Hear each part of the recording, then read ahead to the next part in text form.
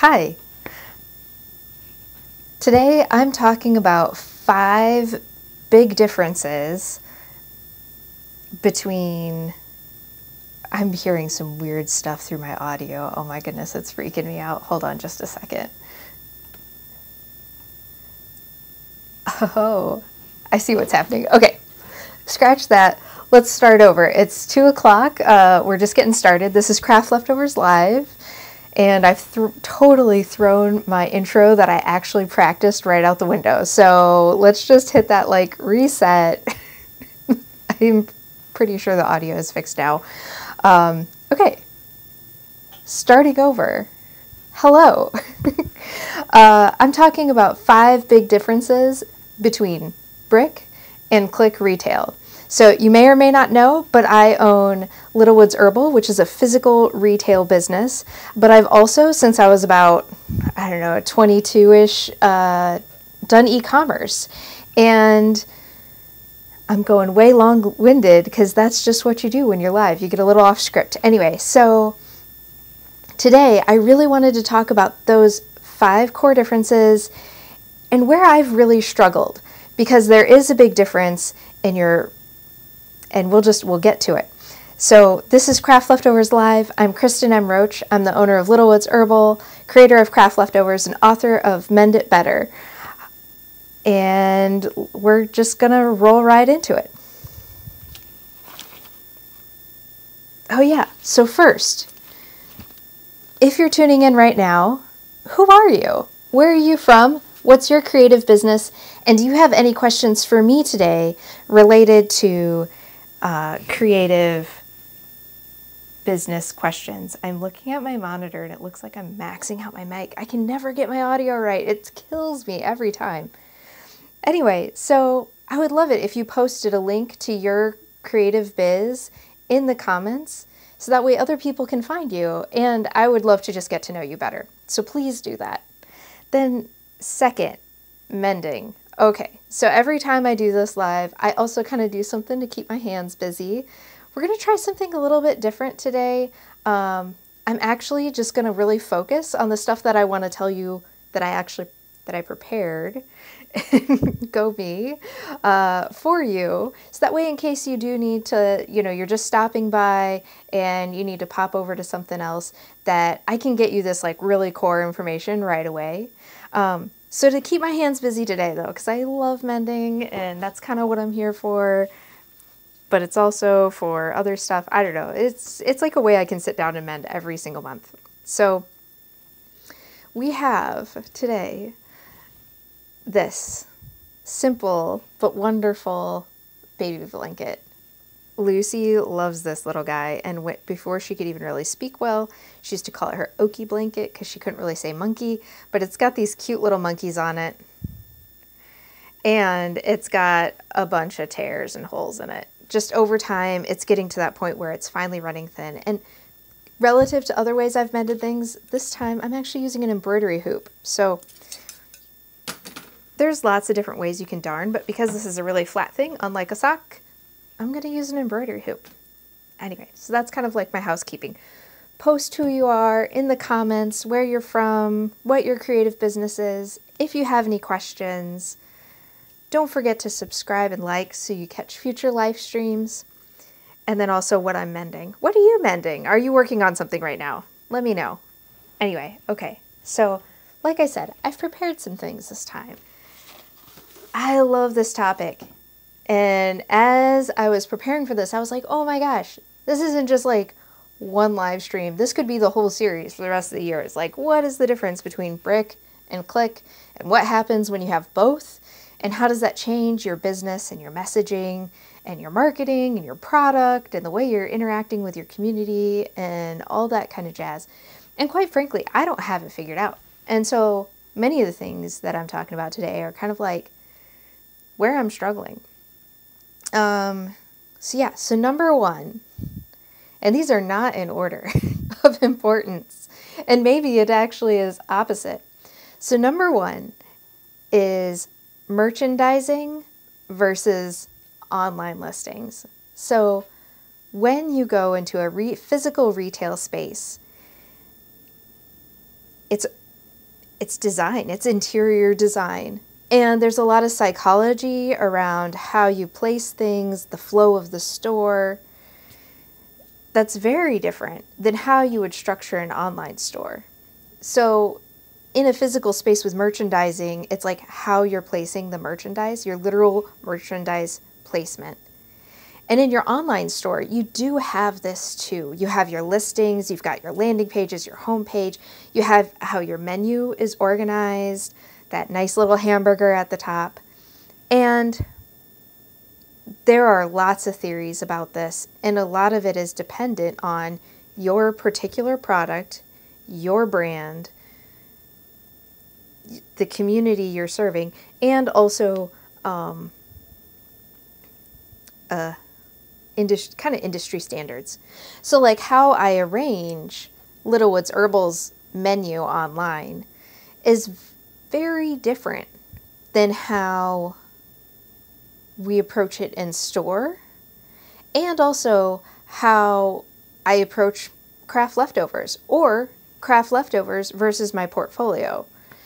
And what's interesting is this last month, I actually did my I want to say it's the fourth open studio in my space on Main Street. And, um, and so it's like pop up craft leftovers shop, the Roach Motel Zine Distro, and uh, in my art, like prints, greeting cards, all that kind of stuff. And, you know, it was so fun. But quite frankly, this space is terribly merchandised. It's hilarious. Not only is just like the entryway incredibly intimidating to come upstairs because it's like dark and there's a luminescent art in there, which is super cool. But you almost have to kind of be a very brave soul to make it upstairs. And then you're like, you're not in a retail space, you're in our offices. So it's very non traditional. Super fun, quite the adventure, but not like a good retail situation. So I didn't sell a lot of work, which I didn't think I was really going to because that wasn't really the point of it. Anyway, so then online, you've got your online listings and and the way that you present your online listings is going to be different than how you're like merchandising things in the store, which I feel like is pretty obvious, but those are kind of just two differences where it's like in store you really need to focus on your merchandising. Online you really got to focus on your listings good quality images um, that are really highlighting that singular item. And so, something that I struggle with merchandising is that, like, I forget to price items because, like, I've got them, and so I just like set them out and they're not priced. And that's also really terrible. Like it makes it feel ambiguous. Is this even for sale? Because a lot of times they're kind of like artfully arranged and clustered. It's like, is this just for display? Is this for sale? I don't know. I people inflate prices a lot. So like they look at something and they might think, oh my gosh, this is probably like a forty dollar teapot, and it's like, or like mug, and it's like twenty five dollars, or you know something like that. Um, where online, your merchandising in, in a way is almost like the contextual placement of your products with like social media marketing, lifestyle photos, like how kind of helping people to envision how they would use it in their own space. And, but I find in both, and this is the similarity, is that if you have too much visual clutter in your product listing, like in your photo, or in your merchandising, it creates a sense of ambiguity around what's actually for sale and doesn't leave space open for someone to imagine it in their own home. And you have to have a clear call to action. Like, don't leave that um, add to cart button too small, too low honestly on Littlewoods we had a little bit of a bug with our design. And so now the cart button's probably a little too big. But also like in store make it really clear where people can check out what the price is all those kinds of things and make it so they can have access to informate more information about the product. And one thing with online listings too is you can really use those related products to kind of upsell. But so yeah, where I've struggled is that pricing.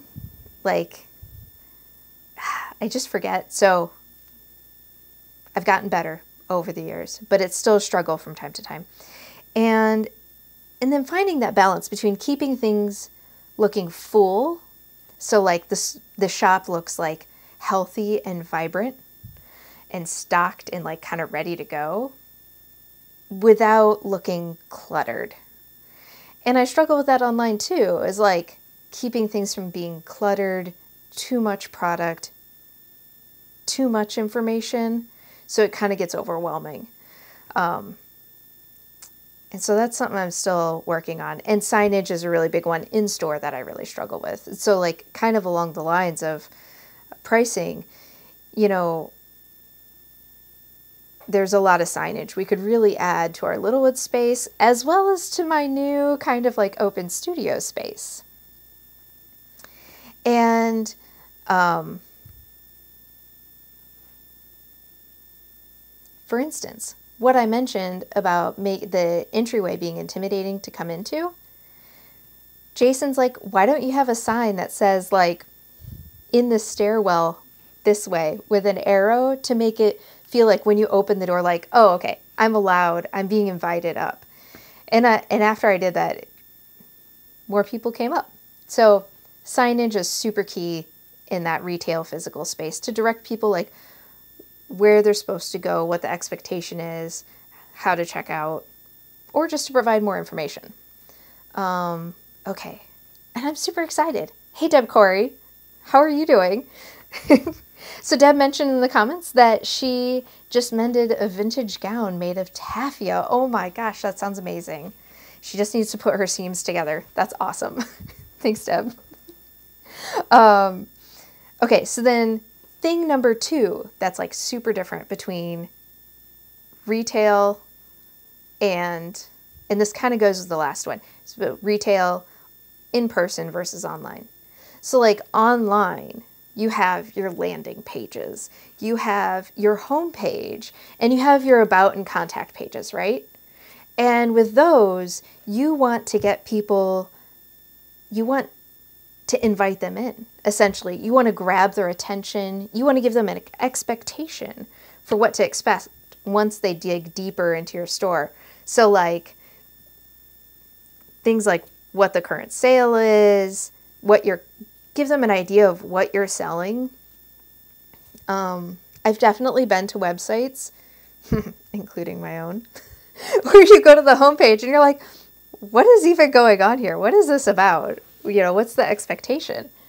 And it kind of, that again, that ambigu- ambiguity uh, just makes it really hard to commit to a brand it doesn't give you a sense of assurance that this company is legit, especially online. Consumer confidence is so vital because they're entrusting you with their credit card information in particular. There's a lot of concern about identity theft and people feel a little vulnerable. So you need to make them feel feel secure, not just that your product is of quality and wonderful, but also that like your website is secure, that they're not going to get their information stolen from you, that you are worthy of their trust.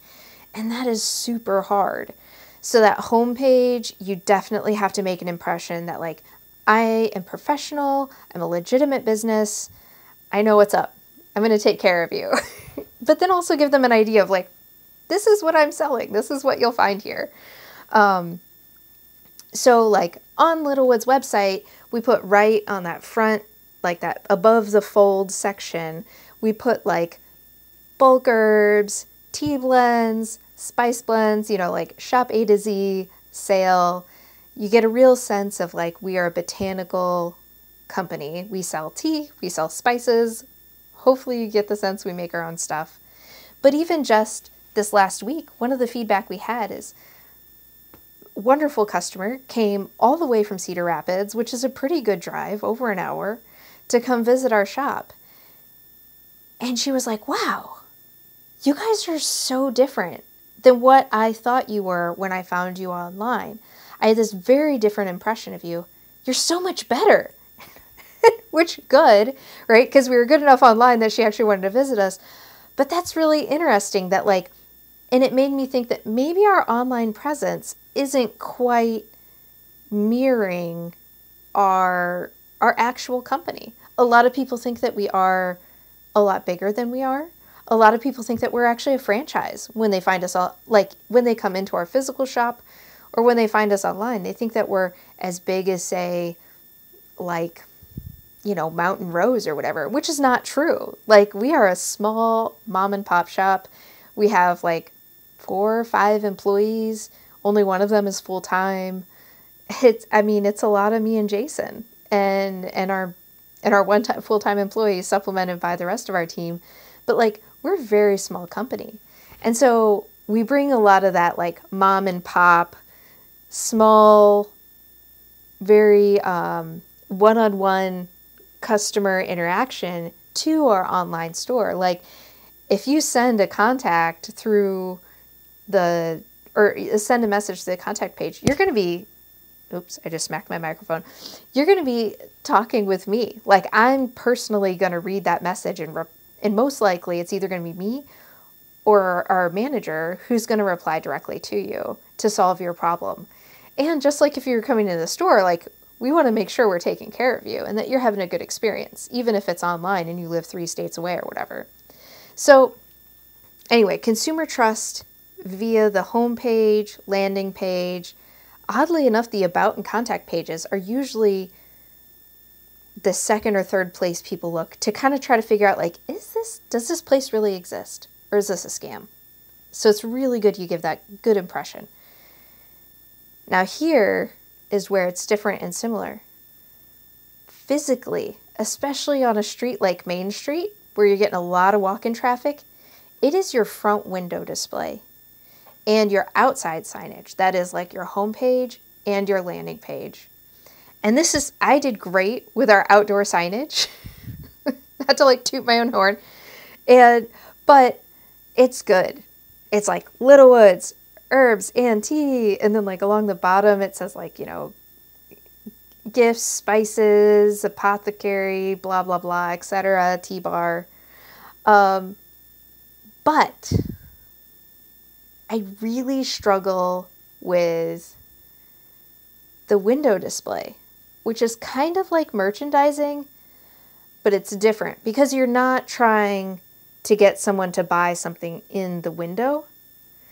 What you're trying to do is entice them to come inside and check you out and to set the expectation of what they're going to find when they get inside. And that's that's different, you know, and it's a different approach. It takes a different skill set. It's I am glad that I am a creative artist type because honestly, that is the same brain that allows me to do exhibits and made me a great curator and installation artist is the same brain that makes me amazing at doing a window display when I have time. and that is the big thing is you've got to make time for it. And I know it's super important, but this is another area where I really struggle is finding the time to change out the front window. And I got to give a huge shout out to my neighbors across the street, Dog Eared Books.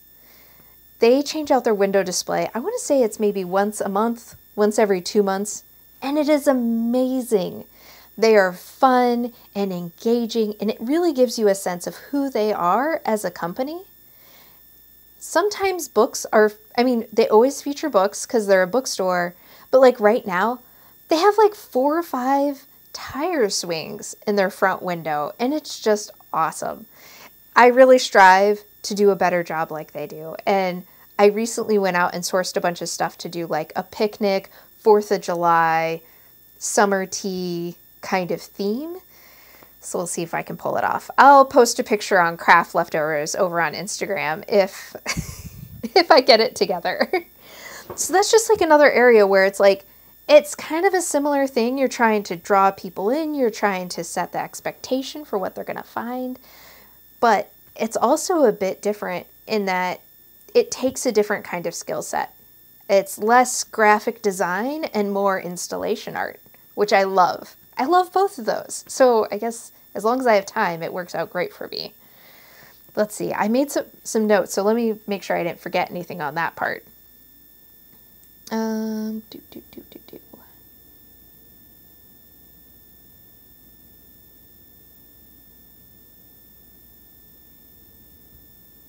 I think a big point about the homepage that I didn't mention was like on a website, when they're coming to your homepage or the landing page, you want to make sure they can find what they're looking for. And so, again, that kind of goes back to like making sure there's a search field right away, making sure there's a newsletter sign up, making sure that they can see easily how to get where they're going. And that's like one of the reasons why we actually put the Tea Passport both as a featured item right on the front as well as like up on the top menu bar because usually like we do a lot of promotion for the Tea Passport or like in the store we'll even say like oh you can sign up for this online it's really simple yada yada and so if they go to our website we want them to really easily be able to find that okay Whew. This next one, number three, it's a big one. Staffing. Wow. Over the last six years, that has been the hardest part of having a physical shop. Now, you may get to the point where you have your e commerce store and you need to staff it, right? Like, I totally hit that with Littlewoods, and that's part of what started us on the train of opening the brick and mortar. But it's like until you're hitting that point where you have more orders than you can fill and say like a you know 4 hours a day kind of thing which if you're spending over 4 hours a day packing orders you know the other 4 hours is probably focused on actually like marketing and running your business updating listings and all that kind of jazz you know you might start looking at hiring someone but even then like you're you're only open when there's orders to pack. If that makes sense. So like you're only you're not having to like maintain open hours. You're just open all the time and there's no work to be done for like an employee unless there's orders to pack. And like if there's orders to pack, that means you're bringing in more income. So great, right? That's the goal anyway, is especially when you're like in that solopreneur, just getting your first employee kind of place. Now, with a brick and mortar store, anytime you want to make money, your doors physically have to be unlocked and open, and someone has to physically be there. And that is, that's really hard.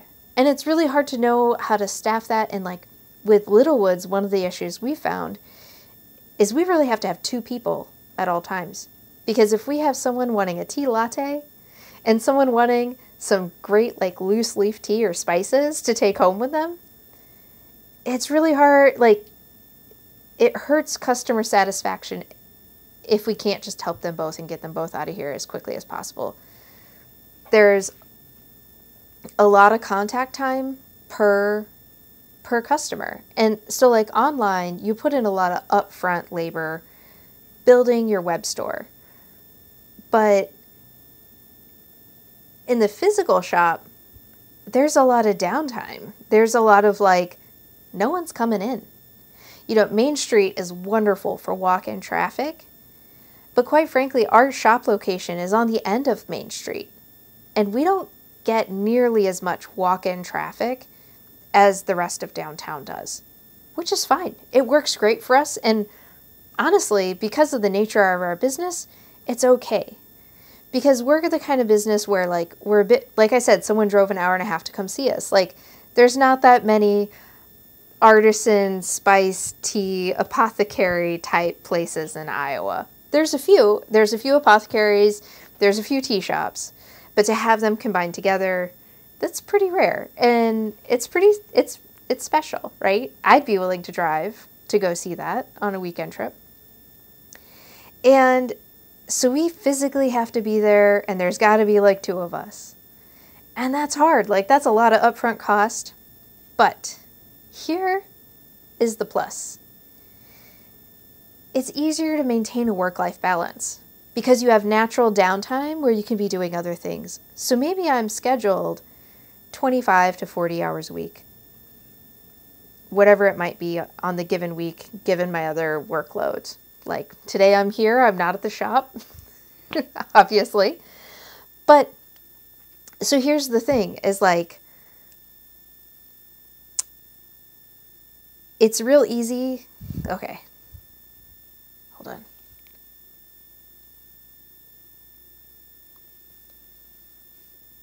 Okay. So when you have an e-commerce website, it's really alluring to always be open in the sense of like you're always working on it trying to make it better. Like always. And there's not really a structured work day.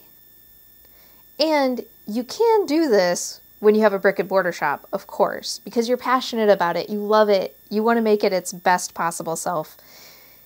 Because it's almost like a part of yourself. Like you wouldn't have done this, you wouldn't have opened a business if you weren't passionate about it. So, like, here's the thing though you can leave. and you literally, there's this finality, there's this mental shift of like, I am leaving work, I am going home, I am now home. And there's a barrier to get back into work. And a lot of things you just can't do from home. I can't merchandise the store and work on the window display or blend tea unless I'm physically at work. And so there's it's like easier to have a bit of that separation and because there's all this built-in downtime, we can get a lot of other stuff done between customers when there aren't customers in the shop. And you start to get a sense of this like natural ebb and flow of like you know, earlier today was really slow, but we got some online orders and we're also making scones for the week. so, like, it's perfect. Now, the other interesting thing is you can really fall into the trap of I'll just staff it myself and I'll save the company money. And that that's that's hard. And I see a lot I've done this. I am tempted to do this often where it's like, oh, I'll just work the hours myself. We're a little, you know, May is like one of the slowest months of the year, and we also have to buy like the entire tea harvest for the year that we need for blending and everything. So, you know, to like help cash flow, like people are going on vacation, I'll just work their hours myself and I just won't pay myself, right? Which is both a privilege and curse of ownership. And that is a hard trap. It's an easy trap to get into, and it's a hard trap to get out of. And so, one of the ways that I actually avoid doing that for Jason and I is, you know, we kind of get a small, really small salary. It works out to about, I don't know, $10 an hour. So, nothing crazy and it's for about we work anywhere between 20 and 30 hours a week um,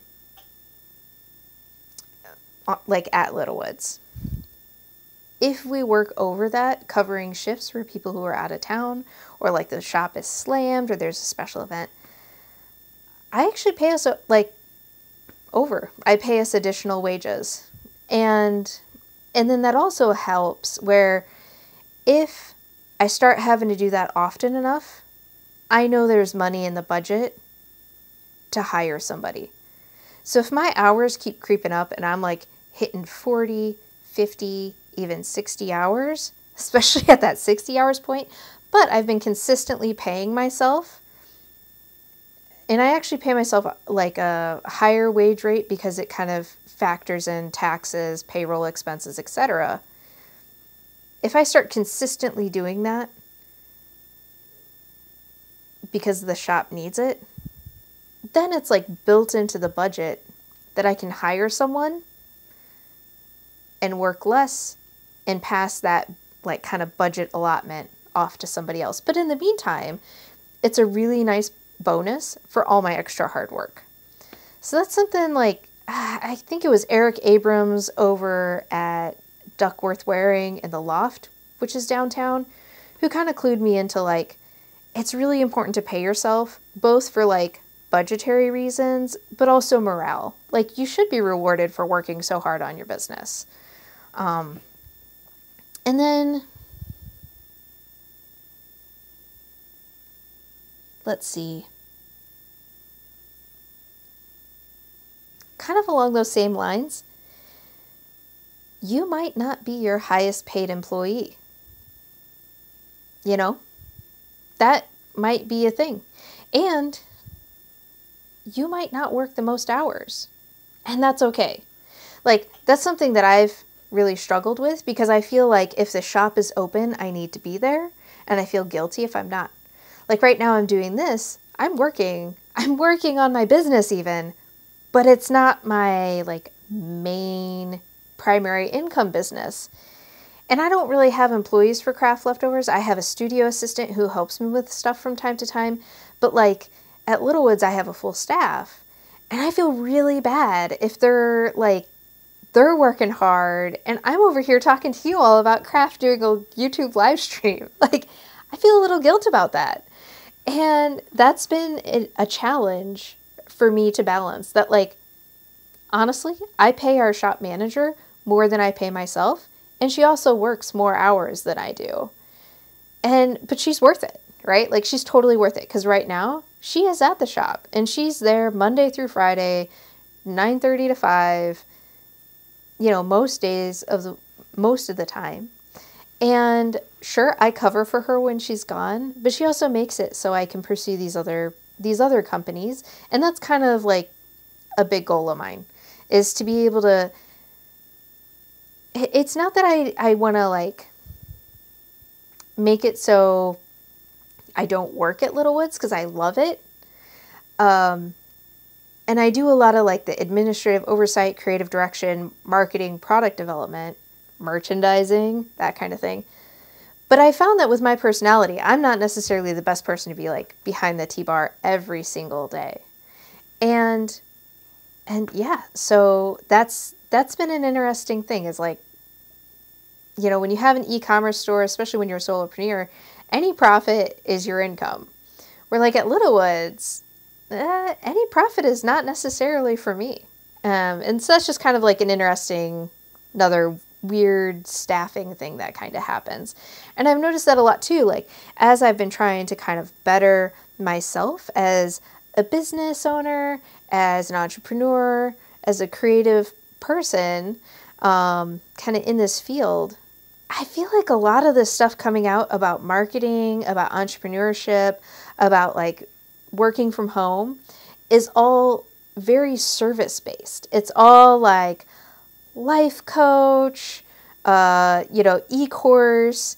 There's a lot less for people running retail, like retail businesses where you're dealing with the public in this very physical way in person. It's not just like you're doing a special live in person event, it's like you're live and in person every day. And it seems like there's a lot less information about what that's like out there. Anyway, so that's that's just kind of a curious thing. Anyway, so okay. Number 4.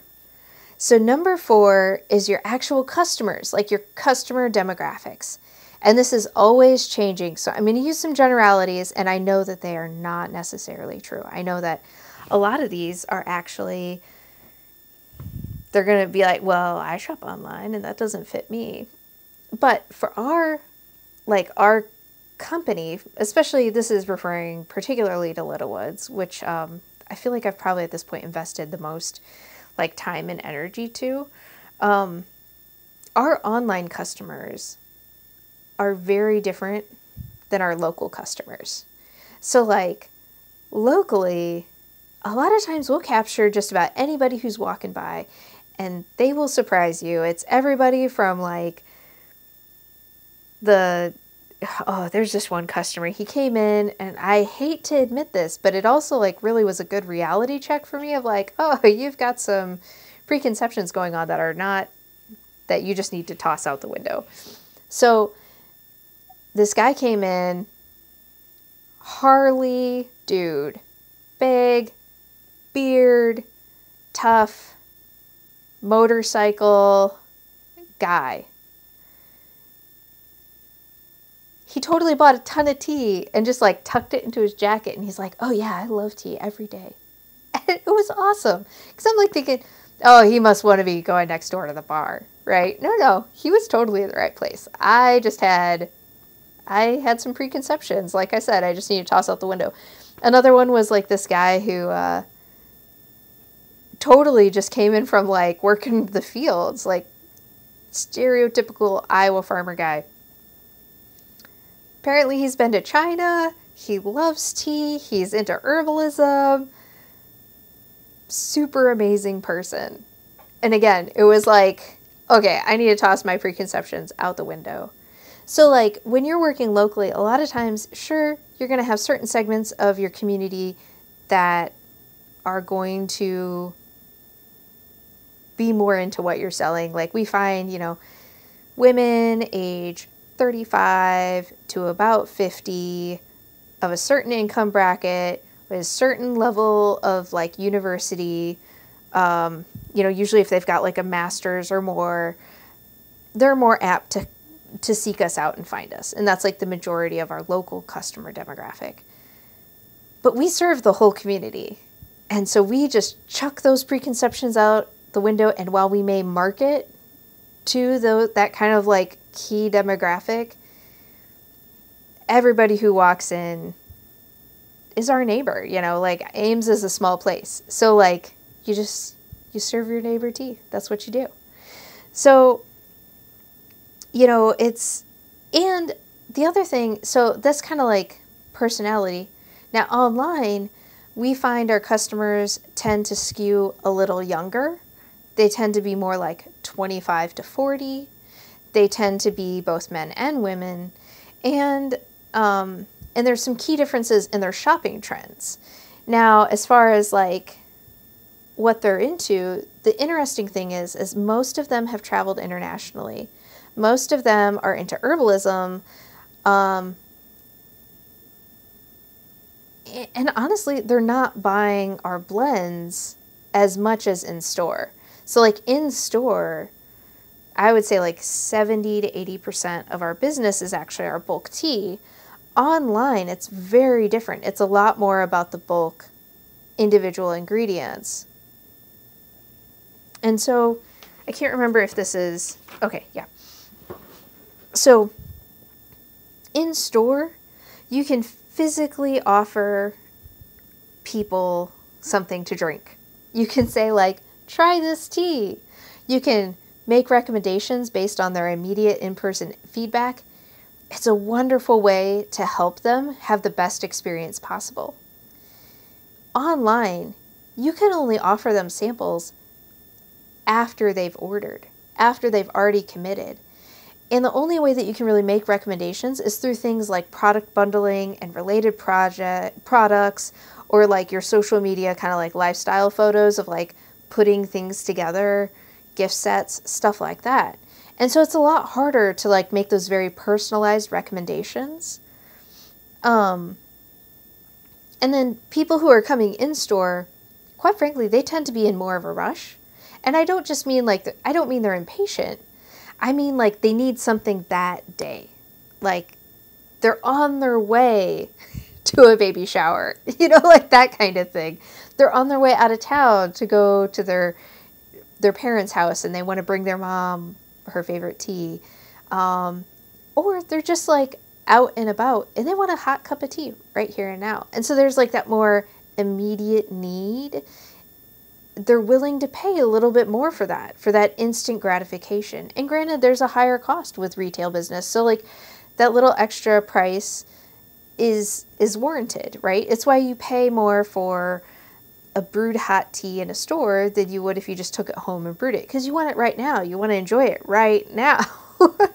and it's like that same kind of thing. So, like in store sales, they tend to be a little bit more of a, a rush and it's more of that personalized shopping experience. Now, online, they tend to be looking for a deal.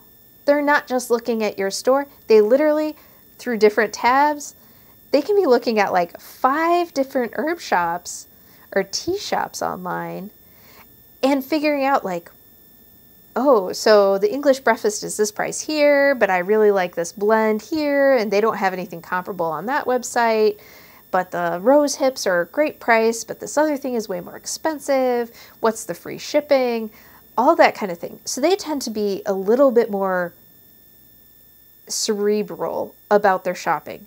It's not even that they're like bargain hunters, but they're really on a search for something very special, a good price, good quality that they can't find locally. And so that's like another really big thing about it is that they're willing to wait a bit longer for it to come in. And especially since the pandemic, I feel like people are more understanding of shipping delays due to supply shortage or just like shipping shortages or staffing shortages in general. And so, like, your online customers, they tend to be willing to wait a little longer, although in a, in a lot of ways that's less the case because of current trends with like next day shipping um, through places like Amazon Marketplace and stuff like that.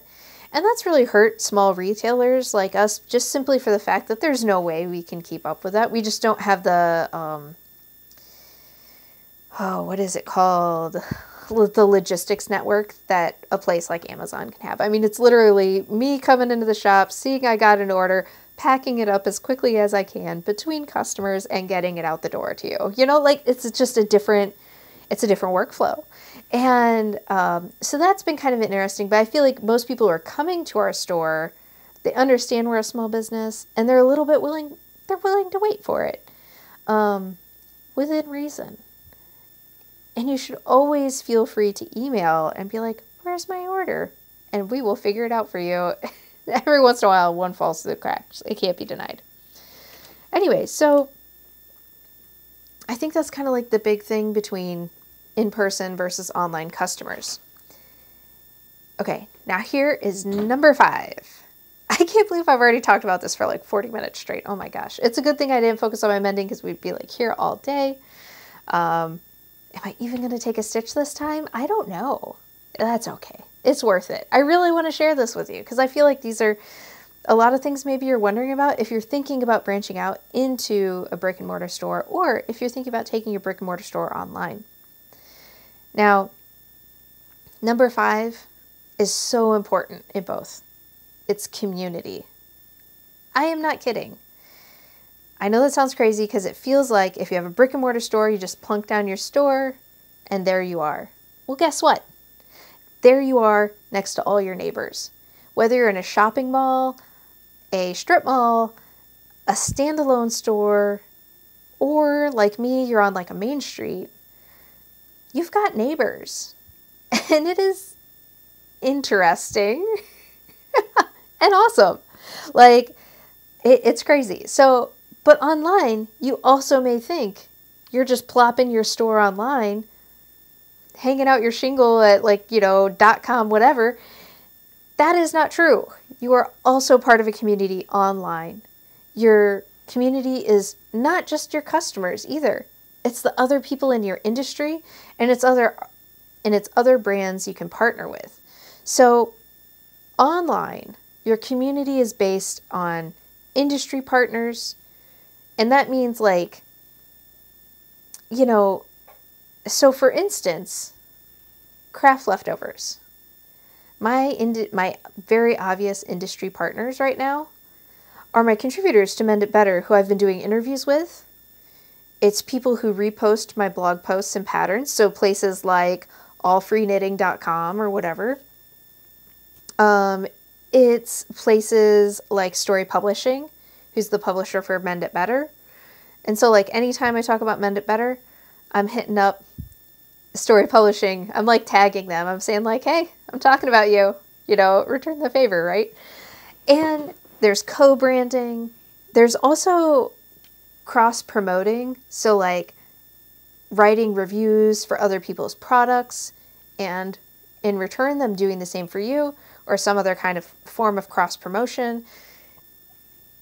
Back in the day, there was lots of like blog tours and that kind of thing where you do a series of blog like when my book came out we did one of those where it's like a series of blog posts about the book across a whole ring of people and you kind of like cross promote everybody else's stuff um, things like guest posts and social media mentions. You know, so those are all kind of like parts of your community. There's also like your newsletter is really vital and, um, making that more like personal connection with people who are into what you're doing.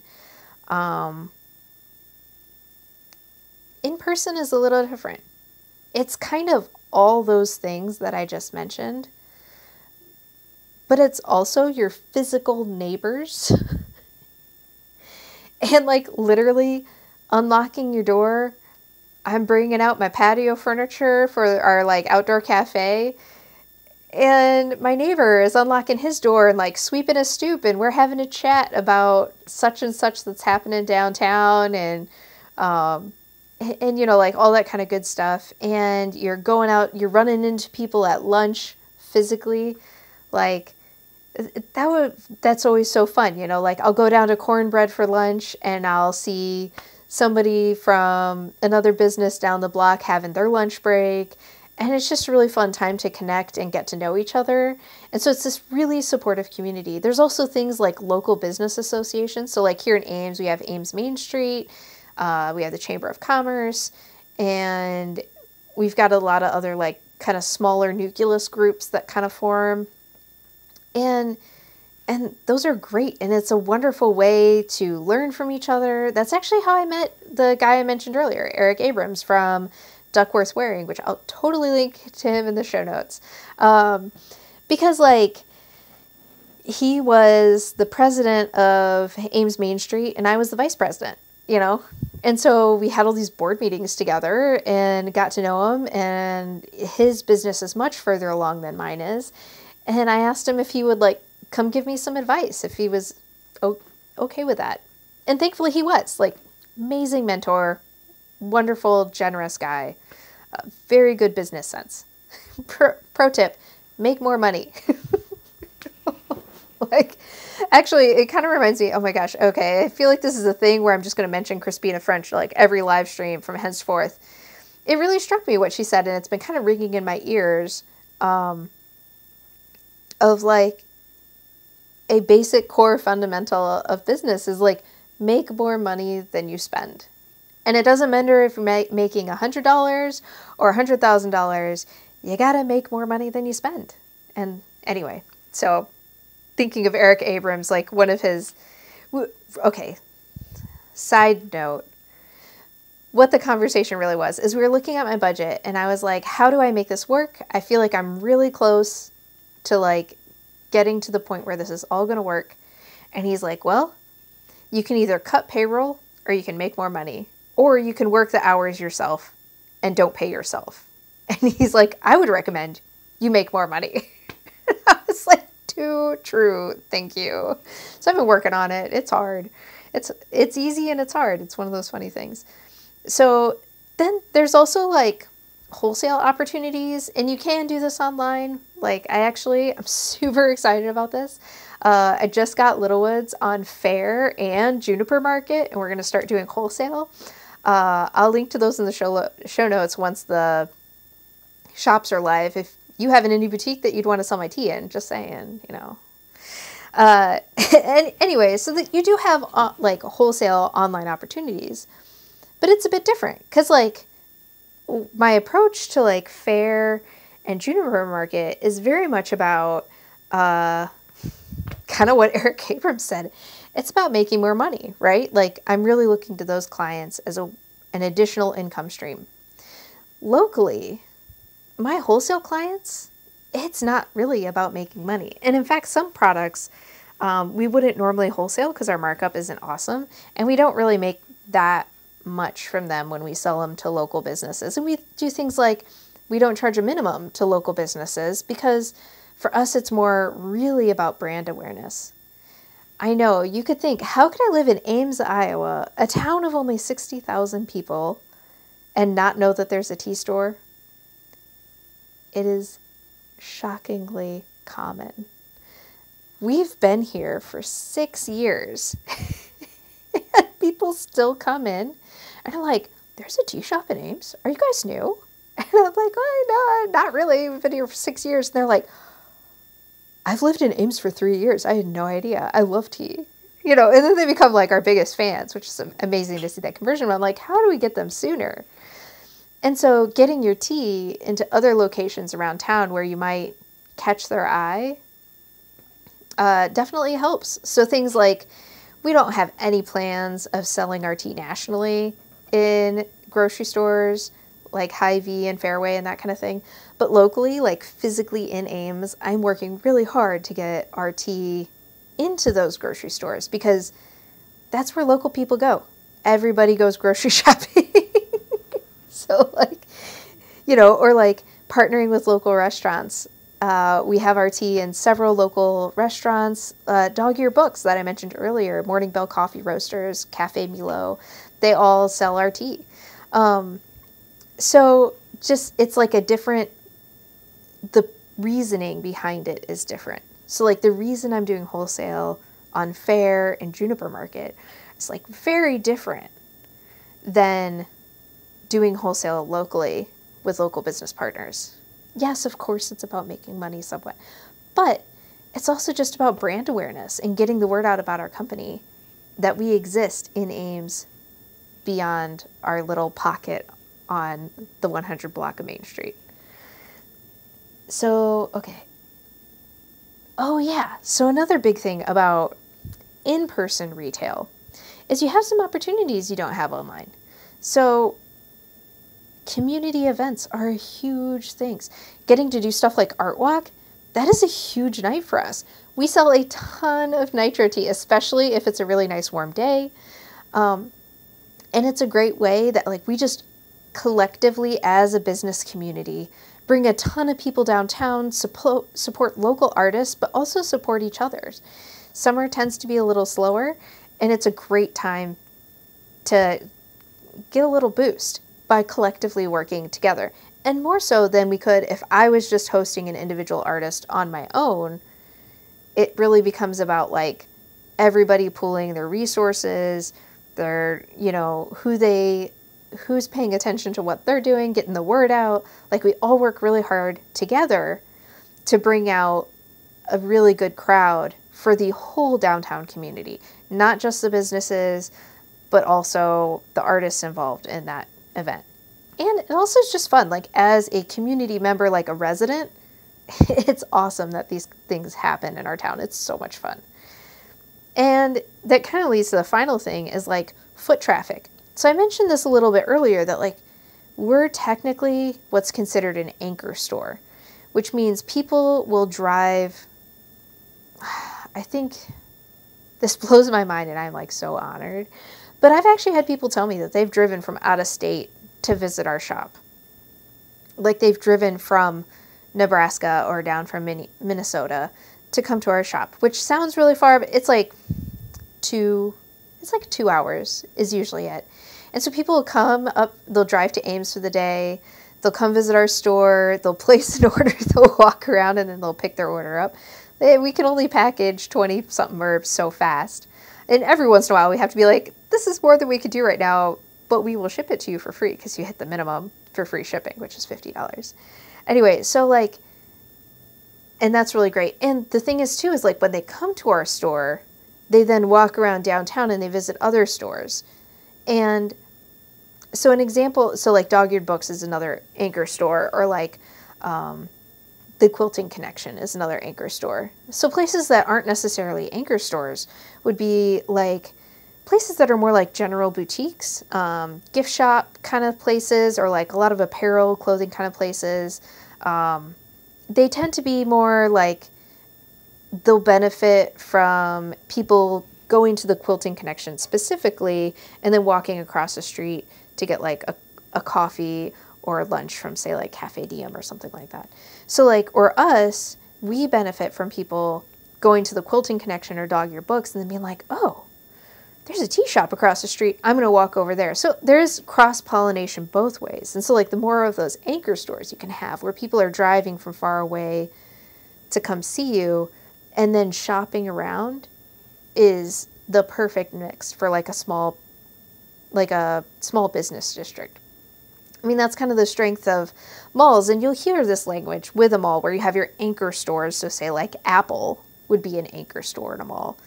And that's really benefiting all those little shops next to it, like even places like Orange Julius. You may not, I mean, I guess if you love Orange Julius, I do have, oops, I do have very nostalgic feelings for them from when I was a teenager, mall walking and whatever.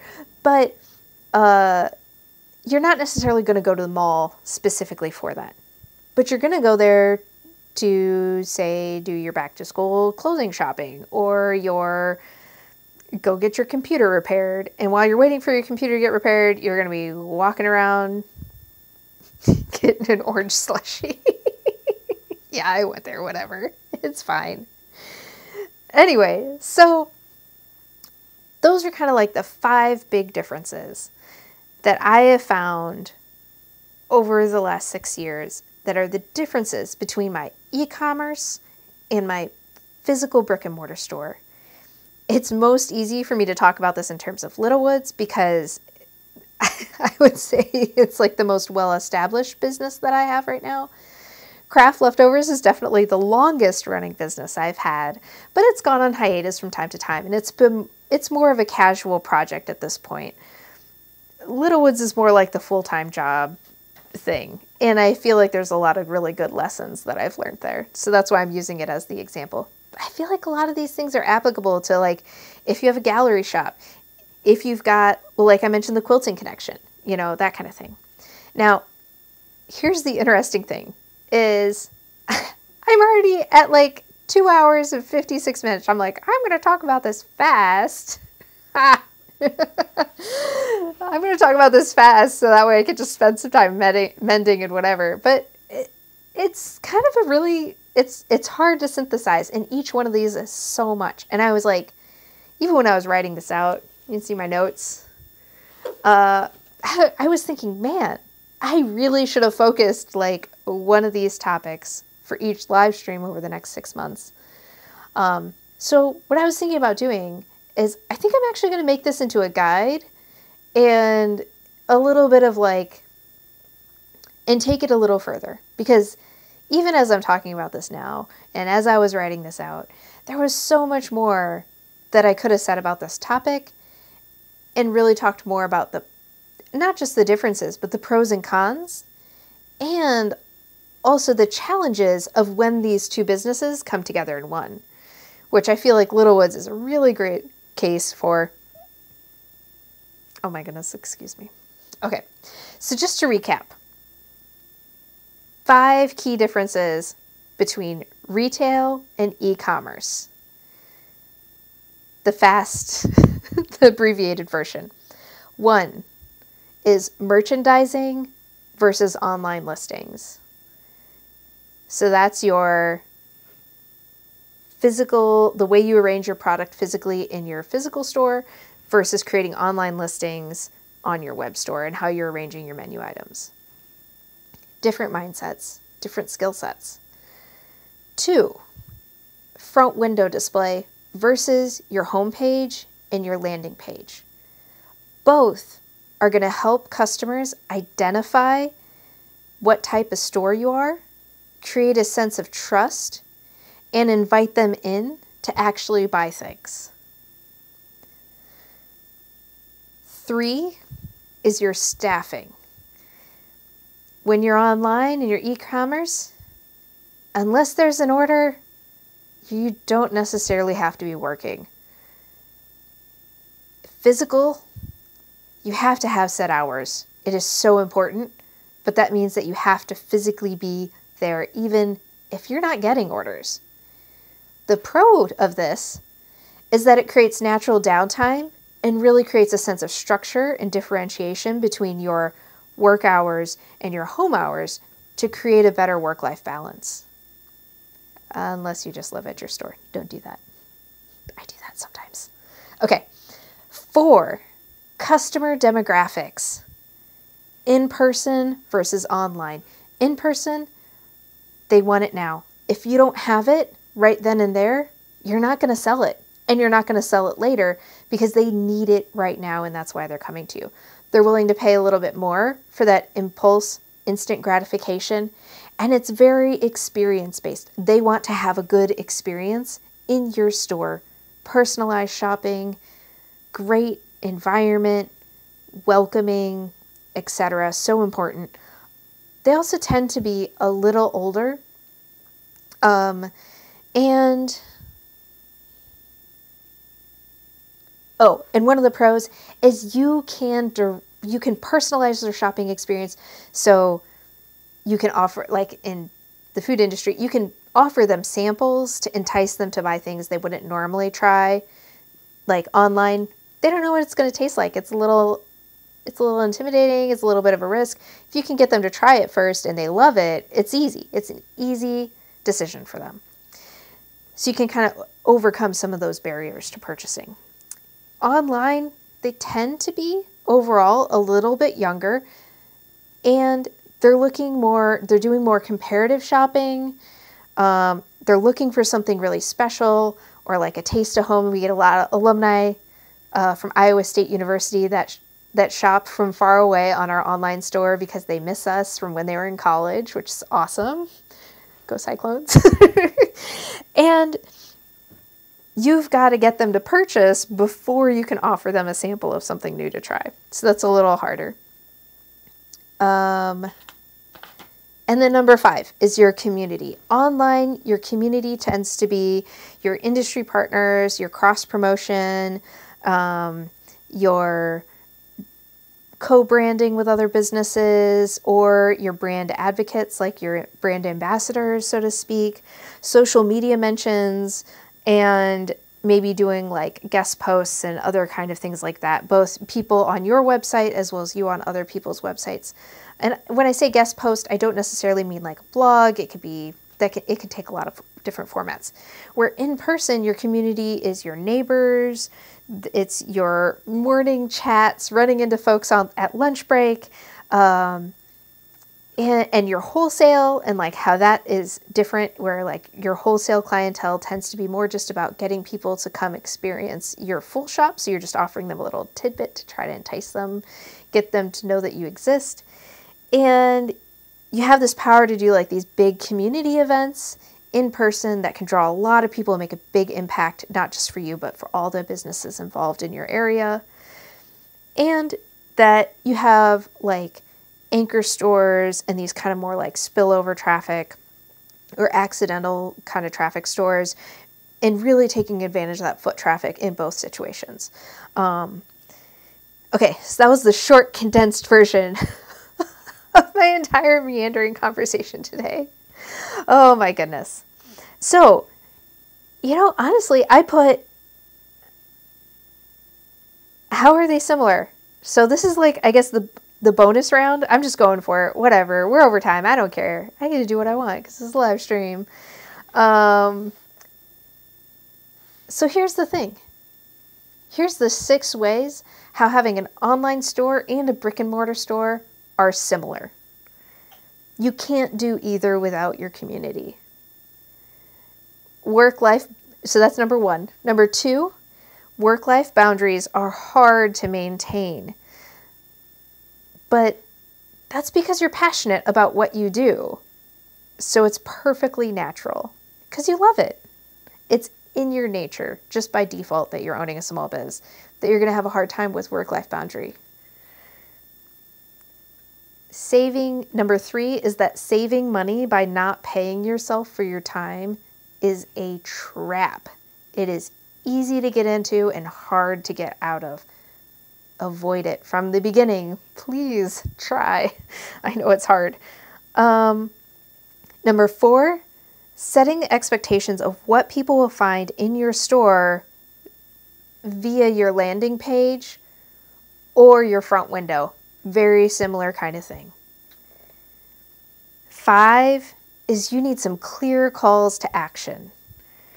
And six, you need to get to know your demographic, get to know your people and and get to know your community, right? So like bring it back down to that. So okay, so those are the five ways that um, having a, a brick or a click store are different, but also the six ways that they are similar. Okay, so with that, I got zero mending done, done today, and that is all right. Next time, I think I'm going to talk about the struggles of having a hybrid business and we'll just we'll talk about that. Um, I'm going to be doing a little research into that because there's actually some problems I'm working on that I want to solve, And so hopefully I'll come to you with some solutions. We'll see how it goes. So I'm going to grab my notes because I always forget my outro and what I'm supposed to be saying.